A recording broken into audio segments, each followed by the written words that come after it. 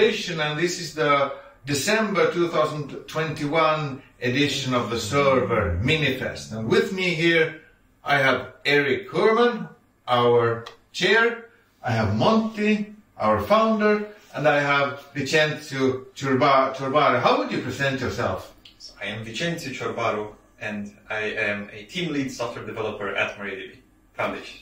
So what we will do is we will watch the same videos as you, and then we will press stop and come with a, number of comments about this, and ho I hope the comments will be relevant for you as well. Let's start.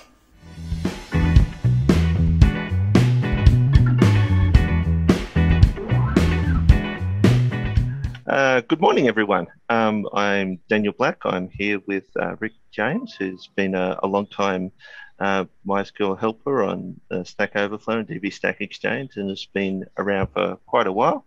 Uh, semi-retired now, but um, has previously worked for Yahoo, um, where he developed lots of skills in developing, hitting, solving problems. Probably should have rehearsed that more. cool. So Rick, invited you today to um, talk about your experience and, and what you see as sort of happening in the, the user community and um, how MariaDB is, is helping or not helping, as the case may be, um, users' needs. So, um, want to sort of talk about. Uh, I mean, we've seen over the years um, numerous uh, users on uh, DB Exchange and Stack Exchange getting into trouble. So, what are the the normal beginner SQL user troubles that happen?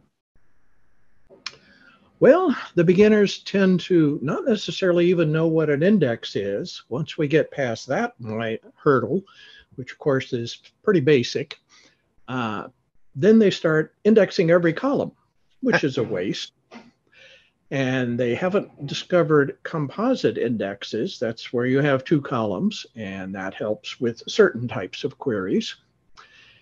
And then they um, they think they know all about indices, and they say, "Why isn't this query using my index?"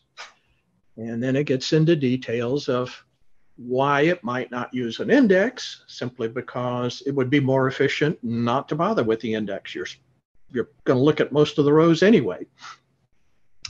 Um, they don't necessarily put a primary key on every table, and that's sort of a no-no, especially with InnoDB.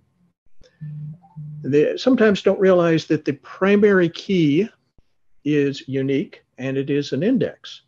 So they add another index or another unique on the same column. Minor waste, not nothing serious. Sometimes they ask, well, shouldn't this be a hash index? Why, why just B trees? Well, B trees are as good as hashes, and they are even better in some situations. Range please. Yeah.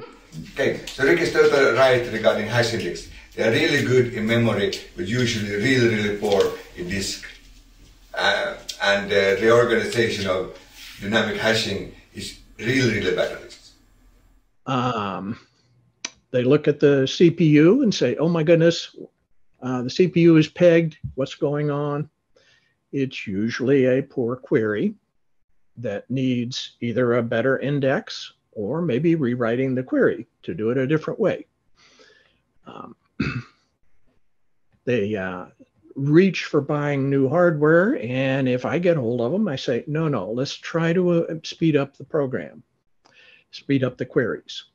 And usually there is a way to speed up the queries. I rarely see a production system with, uh, certainly not with all CPUs running full tilt. Often it's less than one CPU's worth, and it's doing just fine and doing as much as they want. So, uh, as Rick points, uh, pointed out, is that uh, uh, you should see if you get a performance issue, what's the problem? Is it disk or CPU? If your disk is CPU is not running at full speed, there's usually ways to tune, tune things. Yeah, and, and I think the uh, larger thing he was indicating there was that uh, immediately reaching for new hardware is seldom going to be as good of an answer as first investigating what is the cause and looking for your bottlenecks and find out uh, if you can address it not with new hardware, but simply by writing the query in a different way. And I've run into that plenty of times because the first way we write the query is just to get the job done.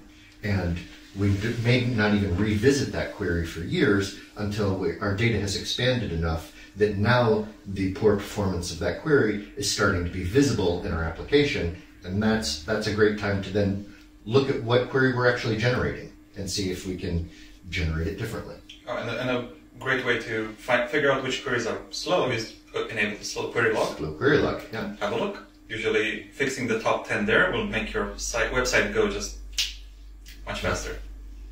I'm pretty sure that Rick will comment on that soon.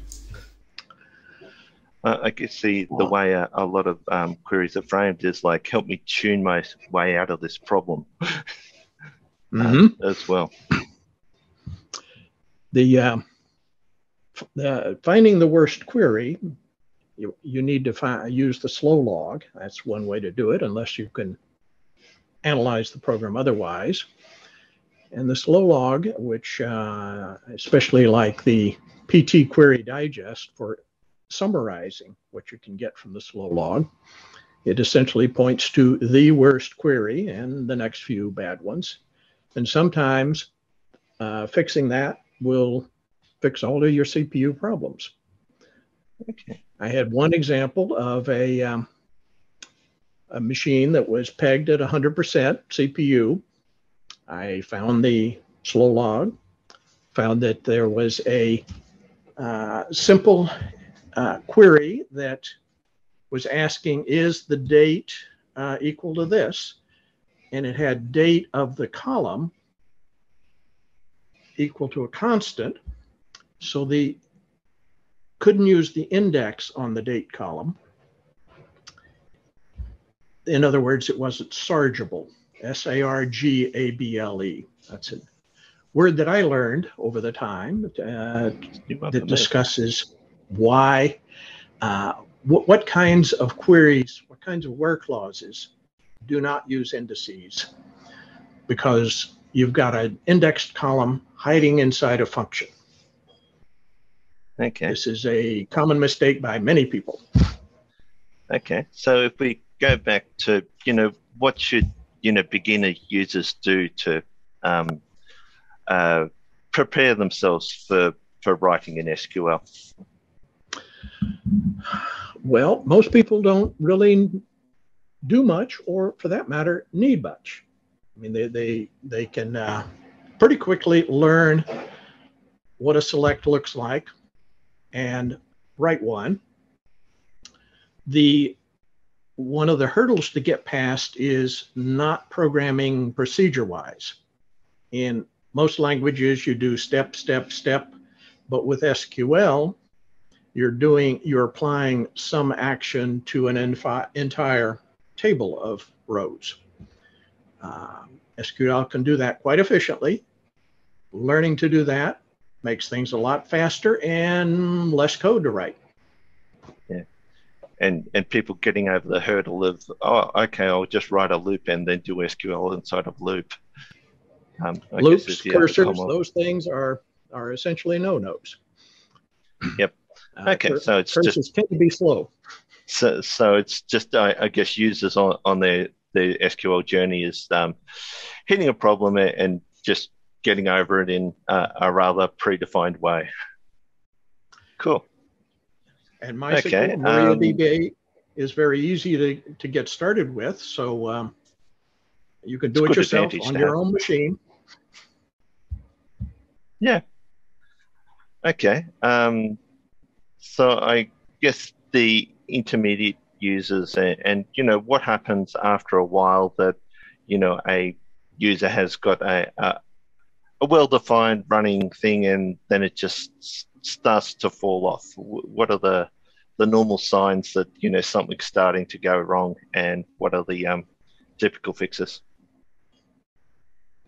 The typical sign is that your web page or whatever you're doing uh, takes several seconds to come up. And what I would do at that point is look at the queries and see what they're doing.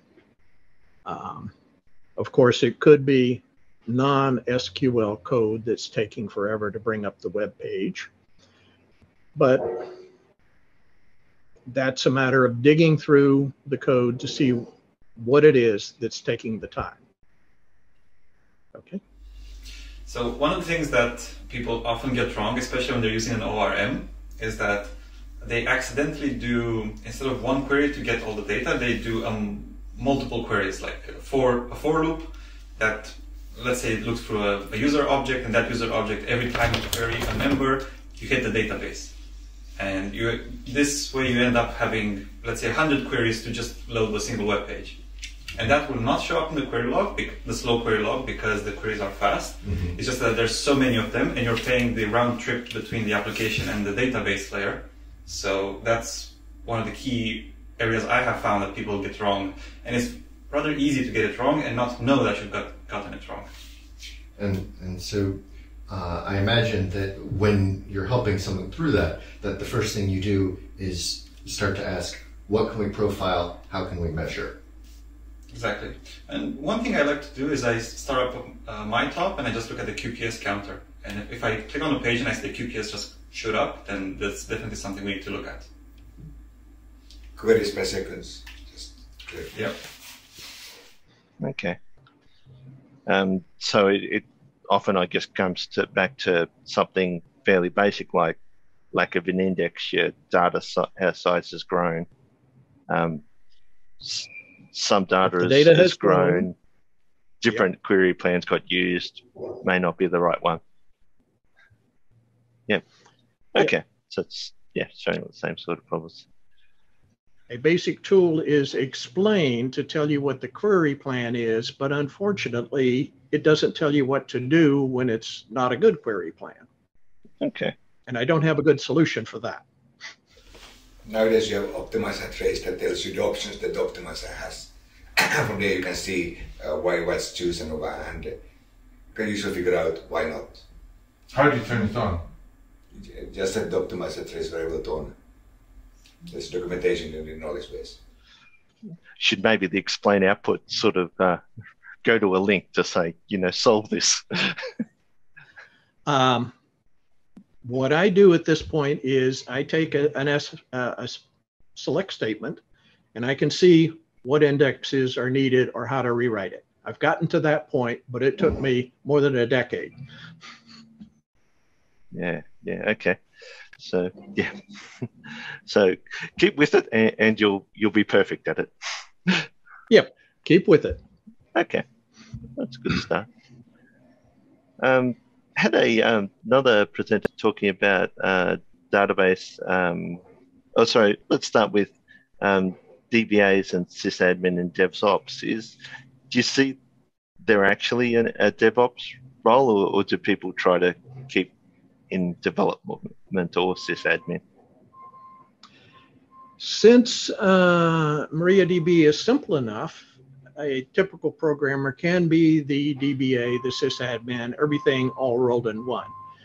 And when I was working for big companies, that was th- there was a clear divide between the programmer and the DBAs, and that was perhaps partially because places like Oracle essentially needed that. There was that much difference between writing code and maintaining the system. Uh, but with MariaDB, there's not that much uh, need for a DBA. So, Certainly, when you get to, to a big uh, setup. So the continued focus on like ease of use and um, default tunings that are right um, have made it almost more accessible that way compared to Oracle. Well, one thing to note there is that the uh, the default settings of when you load this uh, the database engine have been reasonably tuned. A decade ago, they were pretty bad, and certain things had to be fixed before you could get to square two. now uh, the defaults are mostly in good shape. I'm sure someone wants to comment here. I think there's room for improvement, but uh, but but indeed, I think it's important that we get the defaults right and continue to improve those and revisit those over time. The problem with the defaults is that most of our users are using desktop, and the defaults are, for the desktop. Mm. So, and that's uh, that makes it hard for have have uh, really good defaults. So the plan is to within the next few releases is that uh, uh, we will have a, an auto setting, and then you just set auto, and auto means that uh, this whole computer is just for you. Just use all, every, everything you can to get maximum performance, and that will solve it. So so uh, some self tuning at runtime, No self tuning at startup time at setup time. Okay, for for defaults. okay. And it's only when you get into a serious programming with um, serious problems that you may need help saying, okay, how can I better tune this setup for this type of application? Okay. Yep. Um, so, you know, the, there's MySQL Tuner that's been around for a while. Is there um, any other, you know, usual resolution mechanisms that um, uh, people should attempt or just ask? Um, there aren't a lot that you can necessarily immediately learn to do yourself. Uh, I'll probably bring up a few as we go along. I haven't specifically isolated that. Getting the index right is the biggest thing for performance, and that's not trivial. Okay. So, yeah, getting expert help, um, you know, is a uh, good time saver. Yep. It can be. Yep. Okay. Um, we've seen over you know the last ten years that database containers and Kubernetes is is taking off. Uh, how mature is this um, on the database side?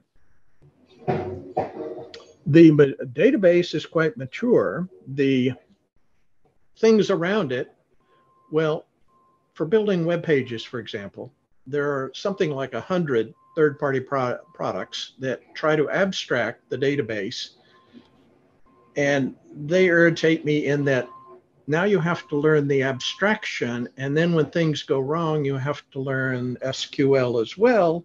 So you're having to learn twice as much than if you just did it yourself.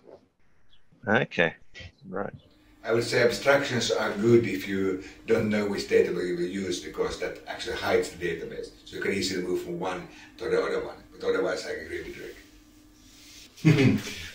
Yeah, well, I my my notion is that uh, that if you're using an object relational mapper, that uh, that Rick is entirely right. That at- at some point you begin to, in order to tune that relational mapper, either start writing SQL directly, or you have to really learn uh, the details of that ORM. And I think that the that many developers are um, hesitant to learn straight SQL, and and so they end up going down the ORM tuning path, and that's a fine thing to gain mastery in as well. But really, uh, uh, you will do yourself a great service uh, to gain some proficiency in writing the SQL directly.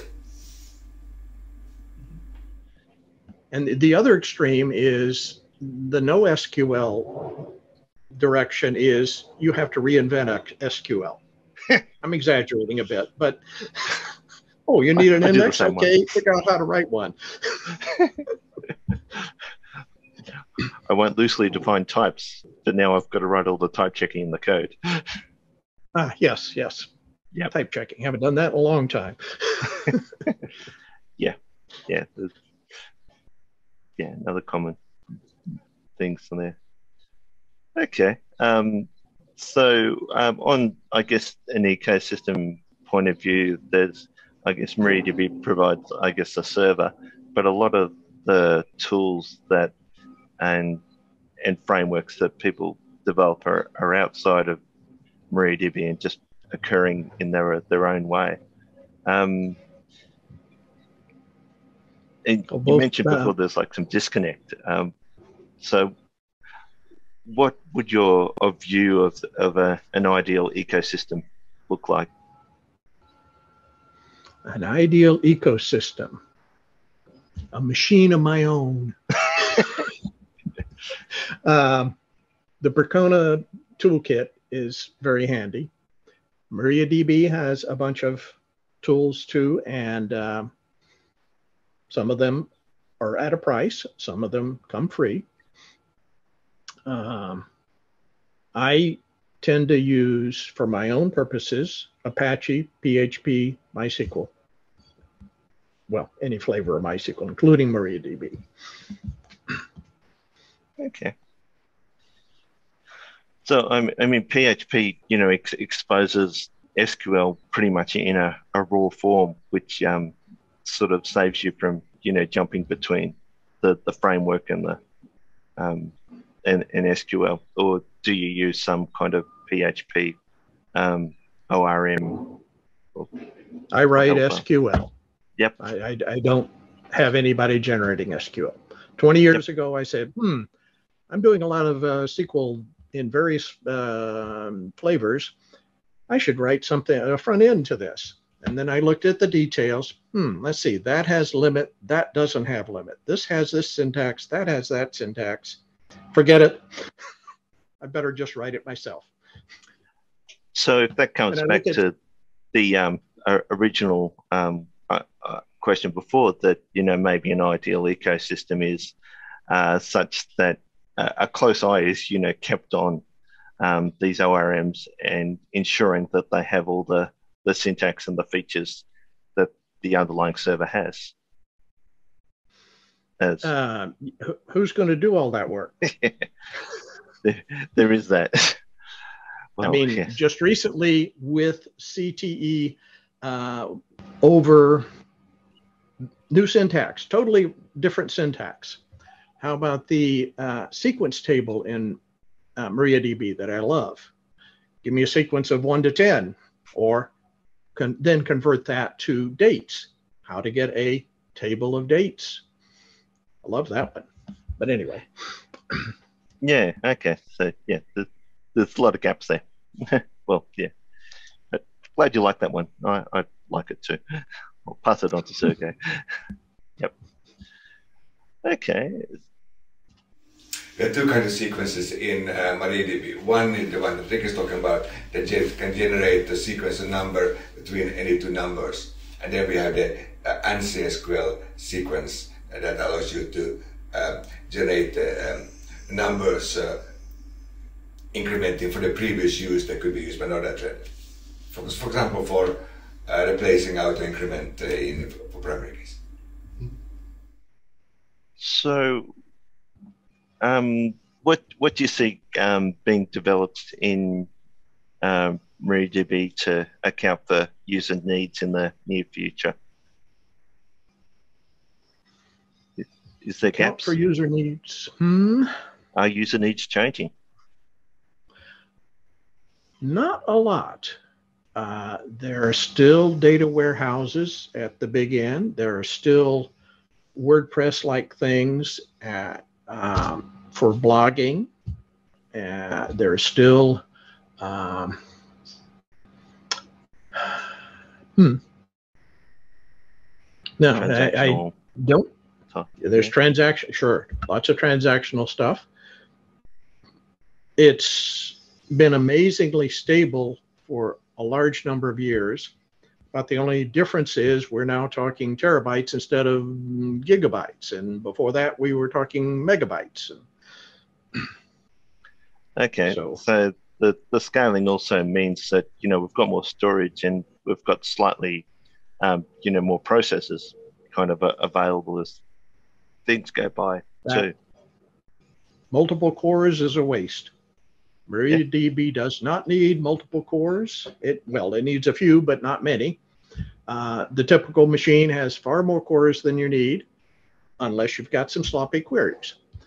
Uh, with SSDs, uh, I/O has suddenly become a lot better, a lot faster. Um, things like sharding are still challenging, and you're on your own for doing sharding. Um, but not many people do sharding. Uh, massive ingestion of uh, stuff, like uh, I encounter people who are tracking a number of vehicles. Uh, sensors on vehicles send in information every 10 seconds or whatever. They're recording that in a database and then digesting it or something. Uh, sensor like stuff is always a big challenge. Uh, and it tends to be something that you can't do it yourself, do yourself. You need big machine, big thinking of how to do the how to digest the data, etc. That's on the big end of things. There's still a lot of stuff on the little end. I mean, writing a blog, how difficult is that? true, true. When it talks to digesting a data, that's something you can do in parallel on many machines. That's not really a problem. It's more about combining those and get those into somewhere form that you can easily uh, process in real time for user queries. That's the challenge. Indeed. Yeah, I mean, the hard part is thinking what to say. well, you certainly, you know, write a, um, a few blogs and, and articles yourself. Yep. Yeah. Now, what I try to do is aim at uh, what you need to do, not what you can do. A reference manual says what you can do. But should I? Is that the best way to do? Which way should I? Uh, blah, blah. So I try to say, okay, for this task, go that direction. Okay. Um, okay. In conclusion, um, do you, what areas do you think MariaDB should um, improve? Um, there are, uh, let me see, I have a list here of. That's good. Lay it on. Uh, windowing, windowing functions need better performance. Um, there are the people try to do give me a, a few random rows. There's no clean way to do that. Groupwise max is another thing that is better done with some to some technique in the engine rather than kludgy ways by the user. Uh, a materialized view would help with uh, data warehousing. Analytics. You've yep. reached into some degree of uh, data typing, such as the UUID, uh, JSON. There's the possibility of IP addresses being a data type. There is. It's on Inet 6. Pivot is a. Yeah. A lot of people want to turn a table sideways. Uh, True. That's doable, but it's tedious, and I think there is a standard syntax that does that. So what the heck? Try to do it. Uh, the performance schema is there, but it's so gnarly that uh, it needs a better wrapper around it. That's true. Isn't sys, um, what's the name of it? Sys, schema. Schema. Isn't that a wraparound? That's a little bit more manageable. It, it is a little bit more manageable. Um, I, I, I still have uh, a desire to see some improvement. Okay, submit a pull request. Indeed. Uh,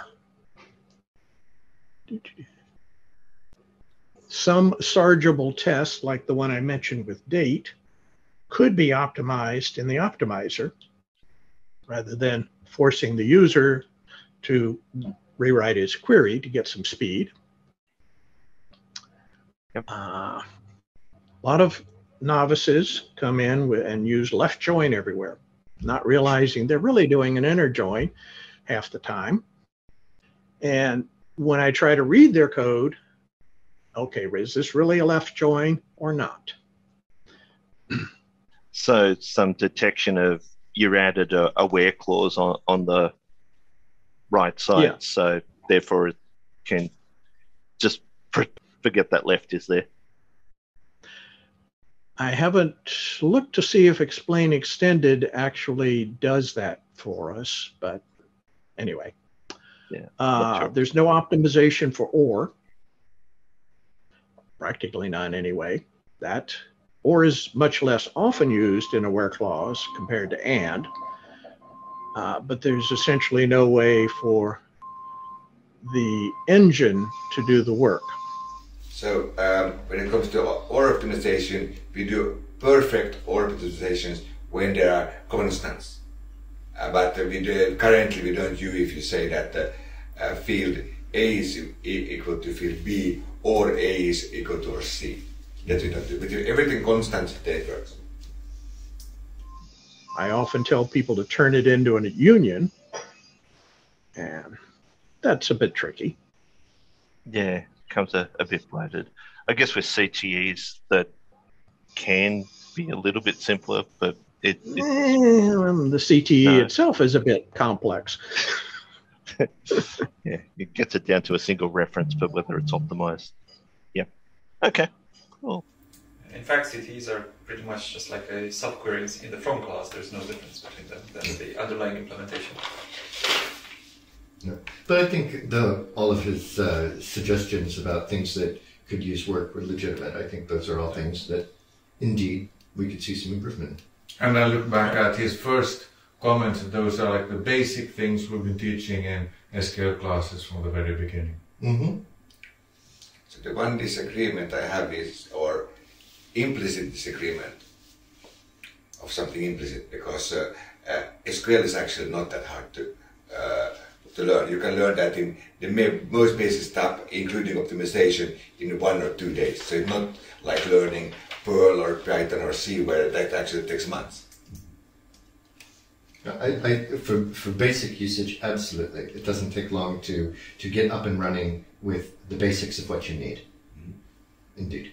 And indexes are not that complex. In, The, agreed. the only thing that you have to read, read up on and quick table, in which cases the index are used.